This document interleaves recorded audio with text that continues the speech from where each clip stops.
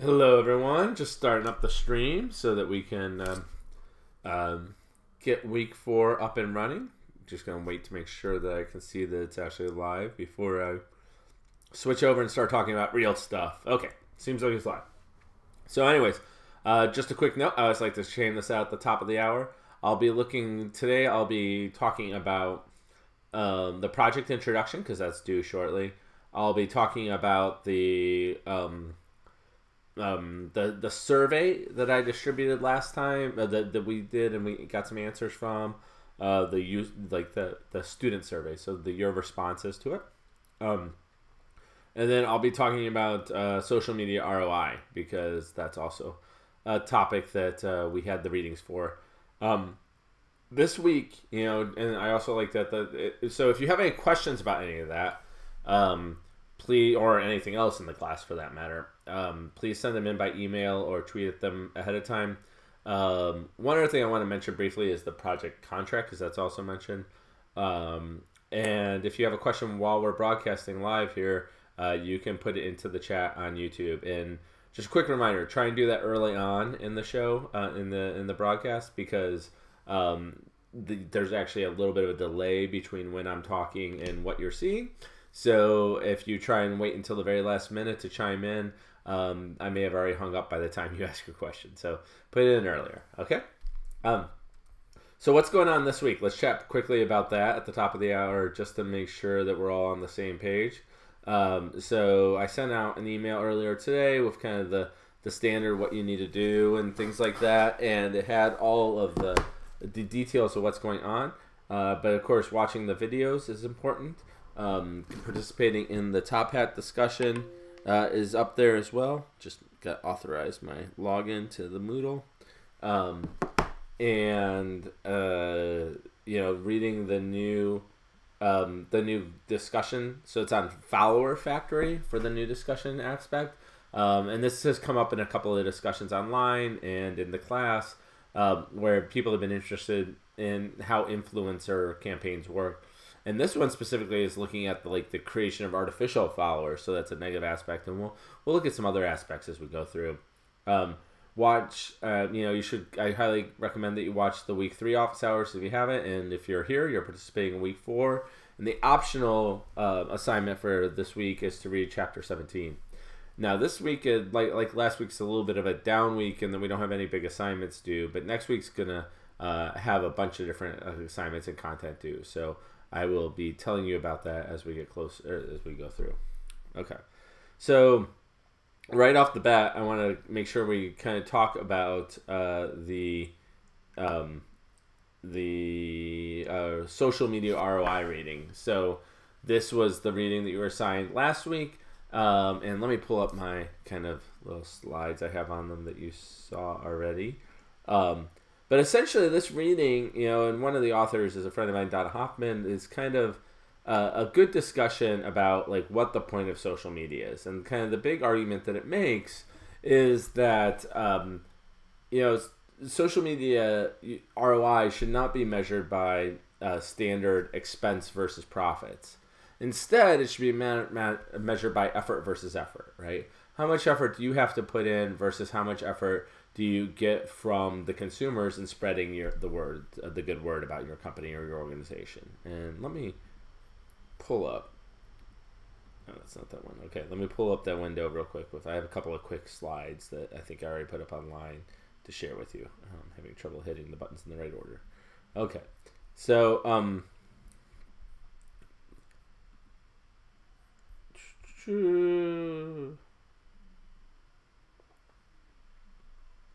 keynote. There we go. Okay. So as you can see, right, uh, blow this up a little bit differently, right? Um, so as we were just describing, right, social media ROI is rather than start thinking of profits, think about consumer motivation to use social media, and then how you might invest to get people to contribute to goals in that space, right? And part of the argument here, right, is kind of an old school argument, which is basically you know, not all forms of marketing and advertising have to be directly linked to sales, right? We um, we eventually want them to all result in sales. That is, in fact, the point of most companies out there, right? But in the end, right, like they don't have to be directly linked. There could be a lot of intermediate um, steps that might be more useful to focus on. And in fact, that focusing on sales may in fact cause us to shorthand or, or, or second, you know, short change that's the word I'm looking for. The benefit of using some of these other approaches, right? And one of the things I like about this particular um, article is that they do a good job of kind of going through what is the use of social media, and they talk specifically about brand awareness, brand engagement, and word of mouth. And then they go through each of the different channels that you look at blogs, microblogs, um, co creation setups, right? Um, like Nike ID and Nike Plus, social bookmarking, forums and discussion boards, product reviews, social networks, and video and photo sharing. And, you know, these topic areas kind of closely parallel the taxonomy that I presented earlier in the social media channels. Um, and so then once you have those, then they talk about the three types of objectives you might have, which is brand awareness, brand engagement, and word of mouth. And then for each of those, within each of those different social media categories, they describe how you might think of of another criteria you might use instead of profit to maximize. And so I think this is really a nice construct way, concrete way of looking at it. So if we're interested, if so, for instance, if you're planning to use a blog to increase brand engagement, then tracking the number of members and the number of RSS feed subscribers is a good way to go. Whereas if you're going to use product reviews to track word of mouth, then looking at the number of reviews posted, um, the valence of those reviews, things like that are useful to track, right? And social media, you know, it's not clear that um, in all cases it could be useful, right, uh, for every single context. Uh, um, but you know, you trying to think about how you're going to use it in this particular context and for what purposes is is a useful exercise, right? Um, so, what are some strategic options, right? So, every manager's goal right, should be to move away from fuzzy measurement and toward quantifiable metrics. This way, a manager can understand what's working and what's not, and then revise their approach accordingly, right? And so, if you are using fuzzy kind of measurement, right, like if you don't really know how to relate your social media spend to your profits, right, and you think that the campaign you launched is failing, then you're kind of in a dead end. But if you know, the, if the, and if the campaign is succeeding, you're essentially a naive optimist because you don't know why it's succeeding, right? But if you can move to quantifiable measurements, then if it's failing, you can measure and adjust, and if it's succeeding, you can iterate on that plan and continue to succeed, right? I think that's a very important way to think about why you should be investing in social media ROI, right? Um, now, uh, let's kind of look at some of the questions that came up during the the reading, right? Um, so um, it seems like most of the most of you kind of in the top hat scenario kind of understood what was going on, right, and kind of got the basic scenario pretty well. Um, there was an interesting set of discussions about um, just whether um, you know whether brand awareness was more important, whether obtaining customer loyalty was more important, and to establish the metrics in that space, right? Uh, but in fact, I think that social media can be used for many of these cases. in fact, one of the ones um, that they talk about in there, the Southwest uh, uh, Nuts for Southwest is the campaign, right? Um, I think that's a very interesting one. I highly encourage you to go take a look at it. In my offline cast, we also we often do a little in class exercise around it, where we talk about the fact that you know, this blog has a lot of interesting content on it. It's now called Southwest Stories, not Nuts for Southwest. But it doesn't seem to be causing a lot of engagement or brand awareness or word of mouth. So how could you, if you wanted to relaunch that blog, how could you do it in a way that would kind of have the same impact? And why did it lose that impact, right? And so I think that's kind of a, a kind of mini use case. This kind of mini case is kind of interesting. Um,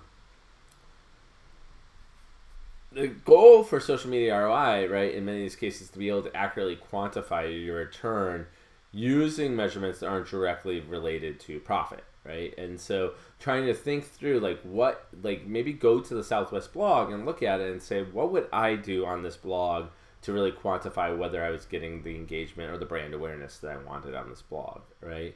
Um, and you know, quite frankly, the last question I asked uh, in the Top Hat forum is there a best social media for every business?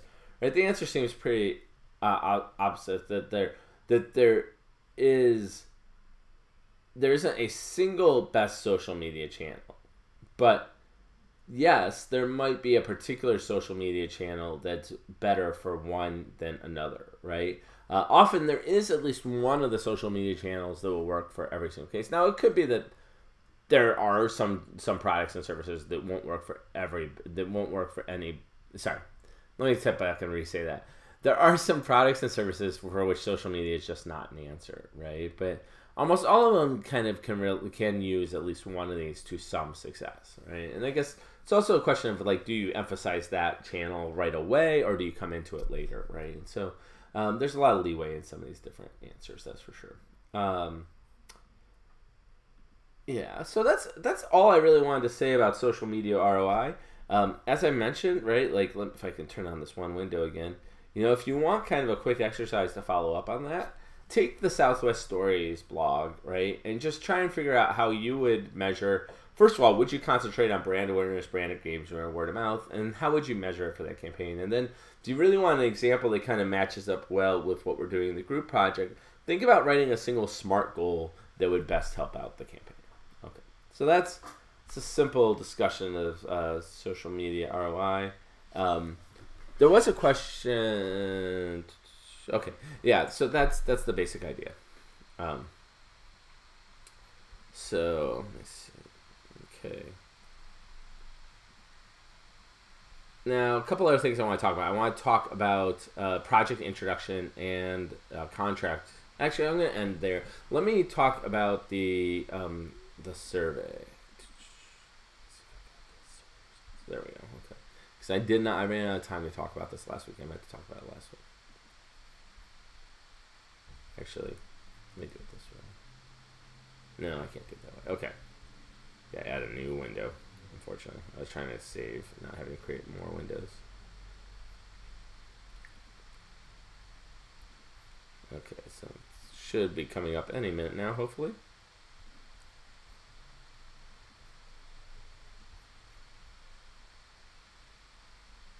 There we go. Okay. Let me get it so it's better centered. There we go. Okay. So I always like to present back to you the survey results that I do. And the reason why I like to present back to you those survey results is simply because of the fact that um, they are. Um, um, um I want you to get the understanding. So, a lot of people ask me these questions early on Do I need to know programming? Do I need to know web design? Do I need to know how to create social media content? And the answer to all that is no, right? We're going to teach you a lot of that in this class. Plus, you're going to work with other students who do it. And now, what I want to show you the survey results for, one of the big reasons why I want to show them to you is because of the fact that I want you to get the idea that this is a diverse group. Um, but there's some other things I think you'll find interesting along the way. So, first of all, what is the top concentration of the students who are taking this class? Well, they're marketing, finance, innovation, and supply chain are tied, right? And there, I might have missed a couple of other votes in there, right, that would break the tie between innovation and supply chain because you might type supply chain management versus supply chain or something like that. But um, but that's roughly, and that seems to bear up pretty consistently over the course of this class.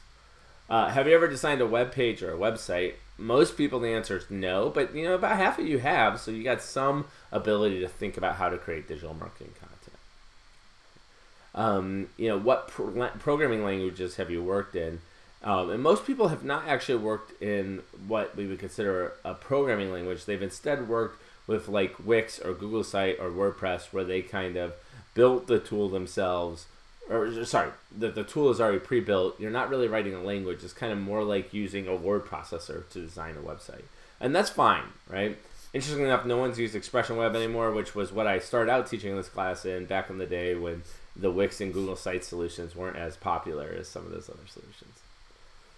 How would you describe your comfort level of designing web pages? Over half of you say, you know, so this is interesting, right? So more than half of you, or just under half of you, have designed one, but even more than that say they don't have a clue. So even though you've designed one, you don't really have a clue how to do it, right? Which is fine, and that's great, right? And so we're going to kind of teach you some of the ideas about how to approach that throughout this class. How comfortable are you with a variety of different programming languages? And the vast majority answer is they've never used any of them, except for some people. You know, there seems to be some group that has used HTML.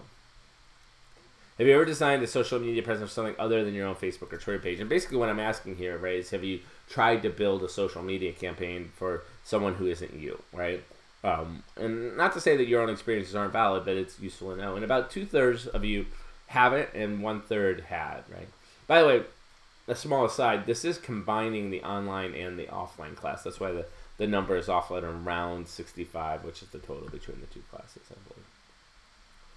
Um, do you know what cloud computing is? And two thirds of you said yes, right? One of the reasons why this question is on here is because I try and keep a somewhat consistent set of questions over the years. I like to see how this is very, and this has definitely gone up, right? And you know, cloud computing is basically the idea that you connect to a computing resource that's not physically located um, in your same environment or in your same business, right? That instead you're renting that space uh, from someone else, right? Or that you have a private cloud where you're just attaching yourself to that space uh, for a brief amount. And it's kind of the idea that the computing is on demand whenever you need it. How many hours do you spend on the internet? And this one I love because this graph is so big. There's big chunks of lots of things, right? The plurality is more than 20, but you know, 16 to 20, 11 to 15, 6 to 10, and even 2 to 5 all get pretty decent chunks, right? And this is a, kind of repeats one of the notions that I mentioned early on that extrapolating from your use case of digital marketing to the whole world is a foolish endeavor, right? You need to think about what who you're actually targeting and which of these different pies they actually fall into. At what age did you start using the internet? And unfortunately, the way Google charts does this. It didn't really order this really well, uh, but most people it seems like are in like the 10 to 15 year old kind of stage with a plurality at 12, uh, a decent amount at nine, and actually a considerable amount at six. Right. Um, this is something that's also changed over the years. My my daughters technically both had uh, tablets at the age of uh, two, I believe, or maybe it's three. I can't remember when we held off. But um, but still, that would put them, you know, that would they were starting to use the internet even though they didn't realize it at that age. Do you have a Twitter account? Two thirds say yes, one third said no. I've been teaching this class since about 2008, right? And so this number has increased dramatically. I think the first time I taught it, there was like one person in the class who had a Twitter account. Do you have a personal Facebook page? Um, one quarter of you said no, uh, but two, three quarters said yes, and that's interesting. That's definitely a change. You know, it used to be that everyone had one. And we're seeing a little bit of drop off. That being said, I feel like I see a stat every year that says everyone's leaving Facebook, and I see a stat that they, they do the next day. Um, actually, it's usually a story, not a stat that says everyone's leaving Facebook. And then when they run the actual stats, it turns out that most people aren't. But you know, maybe this is changing. Maybe this is switching. Um, one thing I do know is that you know we probably won't be able to predict the demise of Facebook very well, right? Um, uh, Friendster uh, was, or sorry, MySpace was the dominant social media platform up until the year it wasn't, right? It basically in one year it went from a ninety percent market share to like a ten percent market share, and Facebook went from a ten percent market share to a ninety percent market share, right? Those those numbers aren't quite exactly right, obviously, because there were other social media platforms, but still, it was roughly that kind of big of a trade off. Do you use Pinterest? Uh, just over half of you do. So that's kind of an interesting um, statistic. And in fact, Pinterest is interesting as a social media platform because when we talk about social media and sales, Pinterest is one of the few social media platforms that has um, been shown to actually directly result in sales. About one out of every three clicks on Pinterest results in a at least um, uh, interest being shown in a product, right? Um, and something like one out of five results in an actual sale. It's kind of ridiculous how useful Pinterest is for generating actual sales. Do you use Instagram? This number has been going up, right? It's obviously now it's now at two thirds with a one third saying no. Um, uh, so that that's an increasing share and WhatsApp as well. This number was actually really small even in the last couple of years, but that's growing extraordinarily amounts uh, by extraordinary amounts, right? Um, so it's interesting to see how that's changed. Um, and, you know, part of this might be just the growth of uh, lots of Wi-Fi, right, making it easy to use tools like this. The desire to work across platforms. WhatsApp's been popular overseas for a lot longer than it has in the U.S. U.S. text messages basically were the same price no matter where you sent them, so it didn't really matter. Whereas in Europe, for instance, it can sometimes be expensive to send the text just across the country, uh, uh you know, in between two countries, even if you're separated by not too much, it was often incurred a surcharge. So WhatsApp uses what's called an OTT or over-the-top technology, allowing you to sell, send um, SMS messages using standard internet, right, which is cheaper than using the telephone companies. And almost all of you have a, a LinkedIn account. Whoever these people are probably need to get one, or maybe they already have jobs and don't really have to worry about it anymore. But uh, you probably should have a LinkedIn account if you're going to be job seeking in the near future. Do you actively contribute to Reddit? And that's like the exact opposite graph, right? Um, and most people said no. I think the scenario you're going to see increasing, though. There's always, you know, on all contributions, right? There's always this fact that uh, there's a power law relationship where a lot of people don't contribute anything and a few people contribute a few things. Do you have your own blog? Right, most people don't, but there are a few people out there that do. Does uh, do you know of anyone who's got married as a result of an online dating site? Right, there's still one fifth of the population still doesn't, but this number is also obviously increasing, and um, you know it's kind of intriguing that nowadays. Um, it seems like all of my friends who are um, getting married, though most of my friends are either already married or working on their second marriage at this point. Uh, they uh, they almost all meet someone over online nowadays. And again, this is an interesting stat, right? Um, how do you most access the internet? And if you take the forty-two point nine, the thirty-one point, sorry, not the thirty-one point seven, the seventeen point five number, you're talking about smartphones, right? So well over half of you use a smartphone, right? Another third are using um, a uh, um, a laptop, right? And then there's a group using a desktop computer or an iPad as their primary access. How often do you check your mail a day, email a day? Most people say every hour, right? Um, which is interesting to me. As you know, I have a unique process. I, I check. I think I've talked about some of the other videos. I check my mail almost every hour, uh, but I don't respond to it until the end of the day. So um, that kind of per- allows me to. It's amazing how many email conversations you save yourself having to reply to by not responding right away. how often do you text?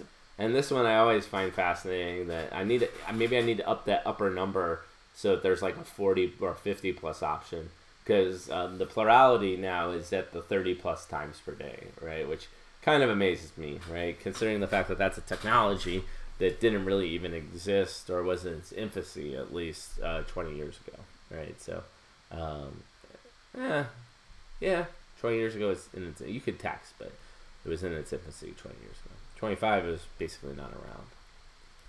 Okay. So that's it for the survey. Hopefully that gives you a little an, a little insight into who your colleague, your your various classmates are, and you know the other thing is that I think it reinforces the point that we're we're not all the same, right? There's definitely different chunks of those different graphs that we're all in, which means that using a uniform digital marketing policy for everyone is kind of a bad idea. You should really find out what your particular base does. Right? Okay.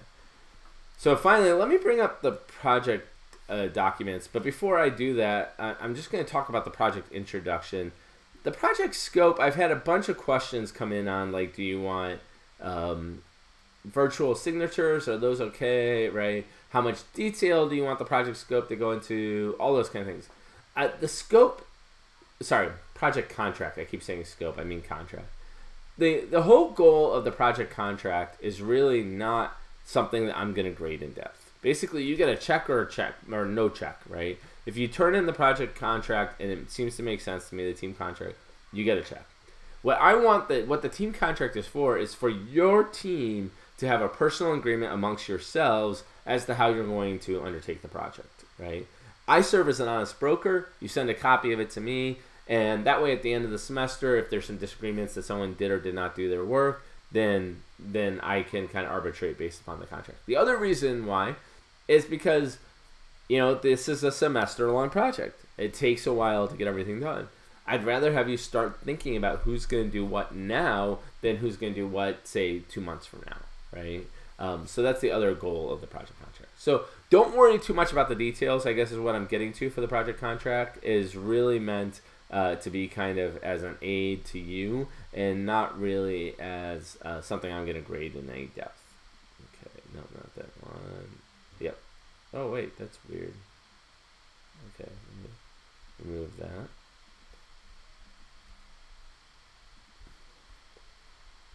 Okay, I'm trying to pull up the project introduction. Okay. So here's the team project paper thing. Let me make this a little smaller, or a little bigger, sorry.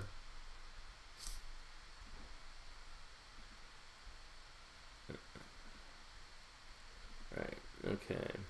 Make it bigger this way too. Oh, no, that's not what I want to. Nope, don't want to move my picture. I may have trouble clicking on this thing. Oh, there you go. Okay. Um, so, yeah, there we go. Okay. So as you can see, you know, we're coming up on the first turn in for the project, team project, right? And there's a brief description of the structure of the report. Oh, sorry about that. Um, but essentially, you know, this first turn is just to kind of um, to, to to basically give me some indications that you actually understand what company you're working with and why you're working with them and why they need digital marketing. Right. So if at all possible, I highly recommend that you have a conversation with your company before you write the project introduction. Um, and the real thing I'm looking for is this section four. Right. You you don't really have to do. You if you already have some insights, you can write them up. That's great. Uh, but you know, section four is the thing I'm most interested in seeing, right?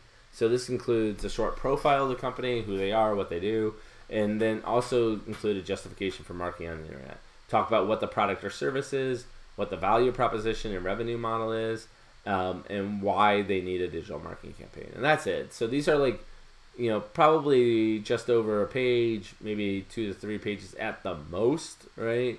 Um, and you're going to turn that in on February 7th right?